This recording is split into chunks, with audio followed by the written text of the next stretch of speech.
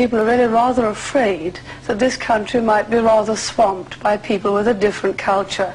And you know, the British character has done so much for democracy, for law, and done so much throughout the world, that if there's any fear that it might be swamped, people are going to react and be rather hostile to those coming in.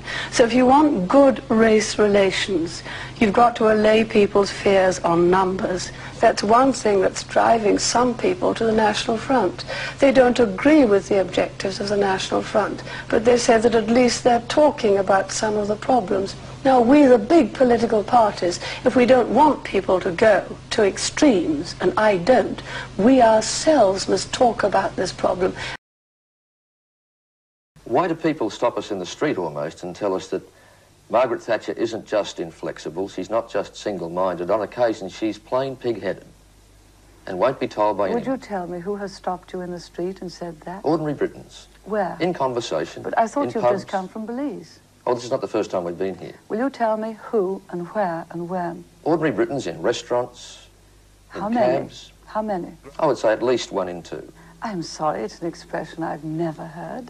Tell me who has said it to you, when, These, but these are where. people that we meet in passing. But and we obviously raise the question of the, the state of their country with them. And they tell us, yes, we have a tough Prime Minister, but she's a little bit pig-headed. She won't be told by anybody. Isn't this interesting? Even the tone of voice you're using is changing from what you used earlier. I am determined, of course I am. I am proud of my country. It can do a great deal better than it is doing. I believe it will do better, and my policies will be shown to be right.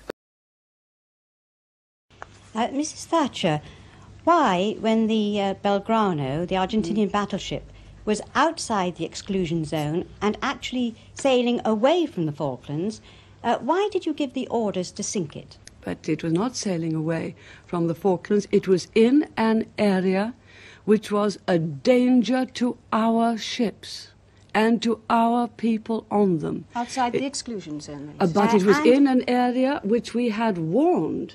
At the end of April, we had given warnings that all ships in those areas, if they represented a danger to our ships, Let me ask were you this, Mrs. Gould. What, what motive are you seeking to attach to Mrs. Thatcher and her government in this? Is it the inefficiency, lack of communication, or is it a desire for action, a desire It for is war? a desire for action and a lack of communications because on giving those orders to sink the Belgrano when it was actually sailing away from our fleet and away from the Falklands was in effect sabotaging any possibility of any peace plan succeeding and Mrs. Thatcher had 14 hours in which to consider the Peruvian peace plan that was being put forward to her, in which those 14 hours those orders could have been right, rescinded. Mrs. Thatcher. One day, all of the facts in about 30 years' time will be published. I That lifted is the not ca- good enough, Mrs. Thatcher. I am we just. Mrs. Gould, would let you you- let Mrs. Thatcher answer. let I me think you've- you've put a fair point. Would you please let me answer?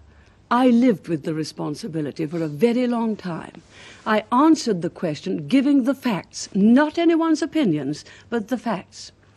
Those Peruvian peace proposals, which were only in outline, did not reach London until after the attack on the Belgrano. That is fact. I'm sorry, that is fact, and I am going to finish. Did not reach London until after the attack on the Belgrano. Moreover, we went on negotiating for another fortnight after that attack. I think it could only be in Britain that a Prime Minister was accused of sinking an enemy ship that was a danger to our Navy, when my main motive was to protect the boys in our Navy. That was my main motive, and I'm very proud of it. Mrs. Gould, One day all the facts will be revealed, and they will indicate, as I have said, Mrs. it was Disraeli One Nation. We've had an increase of home ownership, the heart of the family, Can I under get in a this question, government. please, Prime Minister, You because asked me the most fundamental thing. Well, I know, but must we're not having a party political broadcast. We're having an interview which must Please, depend on me asking some questions Yes, occasionally. indeed. You went. You asked what I know you call the gut question. Right. It's gone to the gut. It's gone to the jugular. Let me finish it. Gentleman here from Dudley West. Why don't you call for a national referendum on the return of capital punishment? I will give you the, the, the, the, what I think is the actual correct answer and say that I believe in it. We have referenda in this country only really for constitutional matters. It was a constitutional matter when we went into the common market, a great constitutional matter. We had them on when Scot whether Scotland wished to have devolved government or Wales wished. That was a constitutional matter.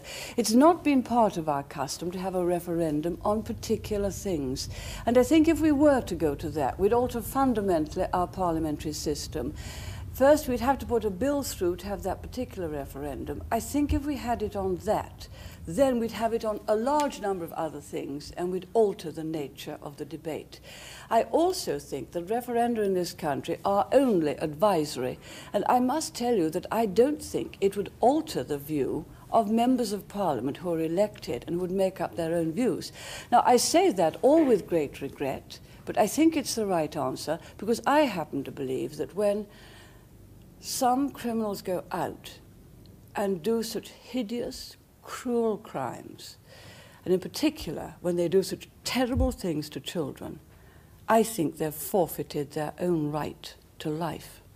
And so I personally, I personally have always voted to retain capital punishment. It may be the case that in private you will have a lusty argument and you will listen to other people's opinions and that you're only too happy to accept a suggestion if it's correct. But you never come over in public like that, ever. You come over as being someone who one of your backbenchers said is slightly off her trolley, authoritarian, domineering, refusing to listen to anybody else. Why? Why cannot you publicly project what you have just told me is your private character? Brian, if anyone's coming over as domineering in this interview, it's you. it's you. You think Hammering so? things out instead of just talking them in a, in a conversational way. Yes, you're very domineering at the moment. Now let's deal with the authoritarian thing quietly. Well, could I just, first of all, ask you to recall what must have been a very difficult meeting of the Cabinet? Yes, Bernadette- of course it was. Of course it was. You don't take a decision like that without it being difficult, without heartbreak. Heartbreak there may have been, but it was the right decision. But you had to get through it. Bernard Ingham, in his memoirs, has said that it was a traumatic experience. Those are his words. Yes, it was. And it would have been very strange if it hadn't been. But we got through it. In fact, you broke down. we got through the House. You broke down during that cabinet, didn't you? Yes, but I carried on. And then the House. By that time, I was back fighting fit. As you saw. Just before that, though, the image that people will perhaps remember, you said the cabinet was extremely difficult. And then you had to come out into Downing Street, and you had to face the cameras. In effect, you had to face the world. Mm-hmm. You had to come and make what was perhaps the statement of your life. And then Mm.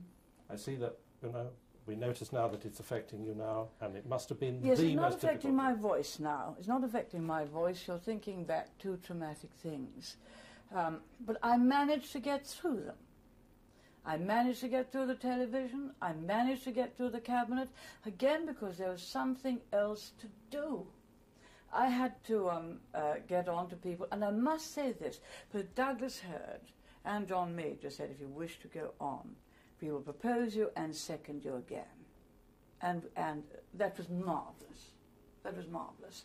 And then I one had to uh, get through cabinet, and one or two people wanted to leave because they too, of course, wanted to, to make provision for their own uh, for their own uh, candidature. Quite right, quite right. But by that time, I had other things to do, and so I got on with them. David Lange says that when he came to visit you at Downing Street, that you declaimed to him, that you addressed him as if he were in the back row of a public meeting. Uh, he uh, uh, said that you spoke as if you were at the Nuremberg rally when he went to see you at uh, Downing Street. I might say so. That is very offensive, bearing in mind that Britain and the Commonwealth stood alone against Nazi tyranny for quite a time.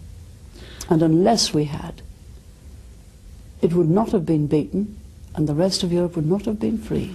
New Zealand was part of that, though, Lady Thatcher. Didn't a New Zealand Prime Minister deserve to New be Zealand treated better than that when he called upon I didn't. I expect other prime ministers to be able to argue their case as I can argue mine. What I am saying was that they were denied ports, were denied to us, although we had our ships in the Pacific on their regular duties as part of the defense of the free world, as part of the deterrence against a third world. He says he did argue it with you, you didn't listen. Oh, I did listen. I had no sympathy with the arguments. But, uh, but you asked, during that period, you come back from Paris and you've asked, the dramatic section here at the end, you've asked Douglas Hurd formally to nominate you for the second ballot. Douglas was extremely good throughout. And then you, dramatic moment, you telephone John Major in Huntingdon. Tell me exactly what happened. Well, Douglas had said that, that he would, of course, propose me, and naturally then I turned to John Major. It just seemed to me that there was a, just a little kind of pause. And then I wondered, well, perhaps I was being super sensitive, as one might be at that time. And how long was the pause? Well, a pause is not very long, but it's a pause. You know, you're very sensitive at that time. Yes, no, I. But was but, it? Uh, he did. He did.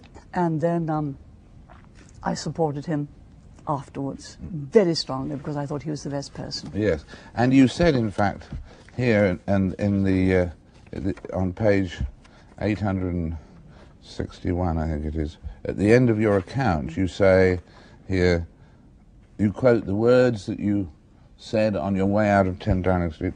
Now it's time for a new chapter to open, and I wish John Major all the luck in the world. He will be splendidly served, and he has the makings of a great Prime Minister, which I'm sure he will be in a very short time.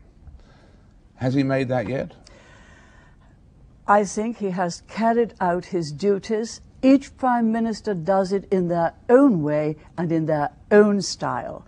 They must not be influenced or uh, pilloried in any way by the styles of other Prime Ministers before.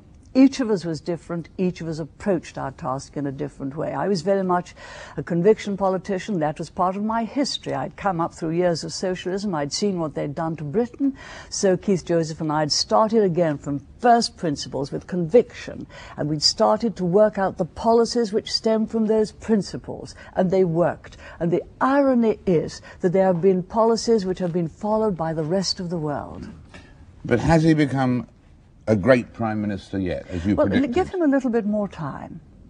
Give him a little more time. A little more time, and no threat of leadership elections. I myself think those elections should never take place during a prime ministership. They're invented after uh, Ted, unfortunately, had lost three elections out of four. They're invented for a time when we're in opposition.